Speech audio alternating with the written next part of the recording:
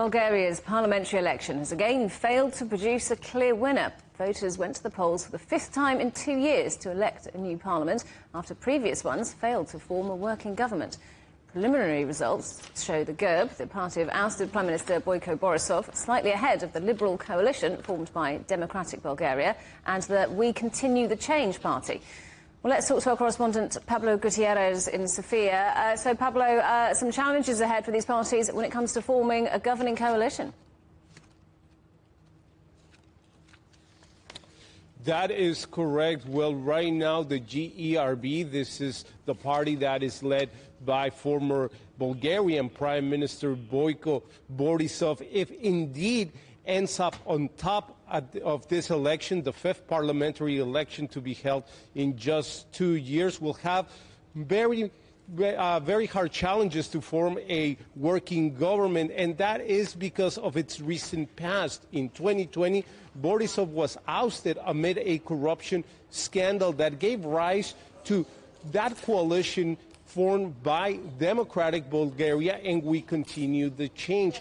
These two parties are Bulgaria's second political force, and working with the GERB is almost seen as something that is impossible because they were created with the sole purpose of keeping Borisov out of power. Now, if we look at the last two years of elections here in Bulgaria, we know that uh, only one government has been elected, and that failed uh, because the coalition basically was broken apart. And there's other four caretaker, govern caretaker governments that have been in charge of getting the gears of government running. However, these caretaker governments are limited in power. Um, they cannot pass a budget. Right now, the 23, 2023 budget is pending. And because of this, crisis, we have seen the target date for the euro to be adopted. It, it has been moved. Uh, it has been moved. So there is, there are some real life um, repercussions to this political instability that is likely to continue as some parties are already calling for a sixth uh, electoral parliamentary uh, uh election in the fall. So over this past two years, uh, five elections, uh, the far-right party Revival has been gaining ground. How did it do this time?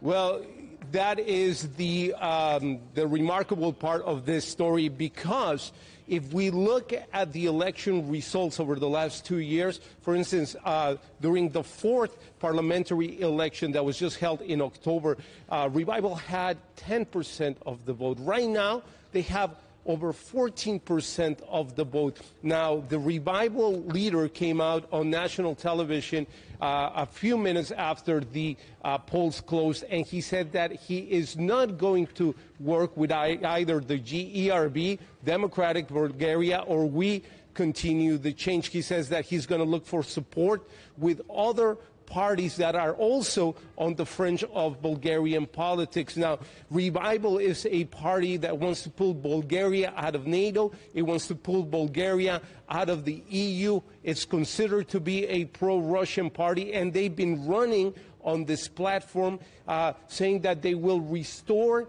uh, change, uh, they, they, they will bring change to Bulgaria, but also restore the politics here, and that is gaining traction with voters. Pablo, thank you very much. Our correspondent Pablo Gutierrez in Sofia.